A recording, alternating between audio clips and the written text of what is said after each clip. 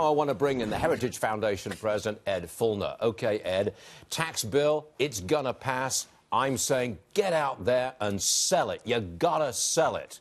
Am I gonna see some real heavy duty selling here? Absolutely, Stuart. We have been selling it, and I know the president's been selling it. I talked to Paul Ryan yesterday. He's been selling it. Uh, it's all systems go. And can you believe it when Nancy Pelosi says we shouldn't pass it because we'd be stealing money from the government? My gosh, does the government own the whole economy and they'll just give us something back? This is an idiotic argument, but it, it shows the liberals for what they are.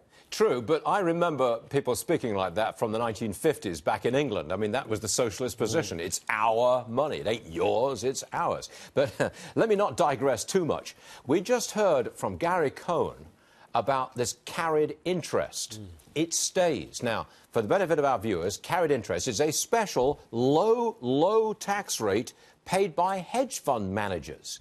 Gary Cohn said we wanted to get rid of it, but we couldn't. It never made it to the table. Can you explain that?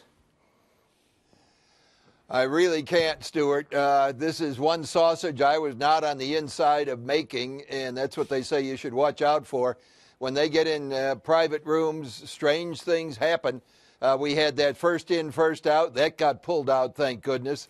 Uh, carried interest really should not be uh, continued. We're trying for a flatter, simpler, fairer, more transparent kind of tax code, and that that doesn't really comply with that. But overall, it's going to be a great plan and a great Christmas present for everybody. Are we going to keep the government open and running beyond Christmas? I am sure we are. It sounds to me like that's probably going to happen and will carry forward until January 19th on a short term uh, continuing resolution.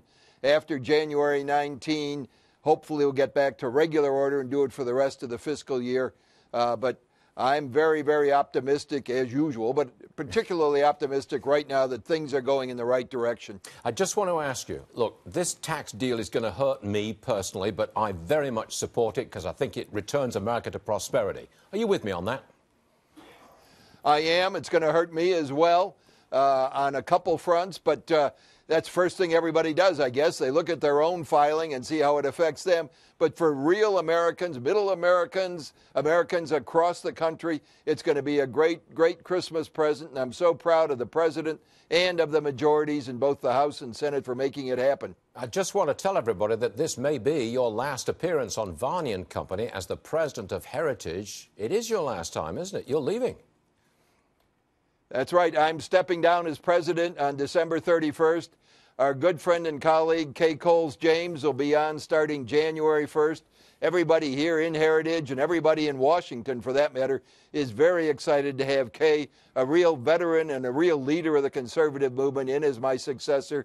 We're all uh, going to be drinking Christmas toast to her, too. okay. I want to say you did a great job, Ed, and uh, you contributed mightily to this program, and it's much appreciated. Ed Feulner, everyone. You can have me back. I'll still be hanging around, Stuart. If you're not careful. if you're not real careful, Ed. Good luck to you, sir. Nice night. Merry Christmas, all. Yes, sir.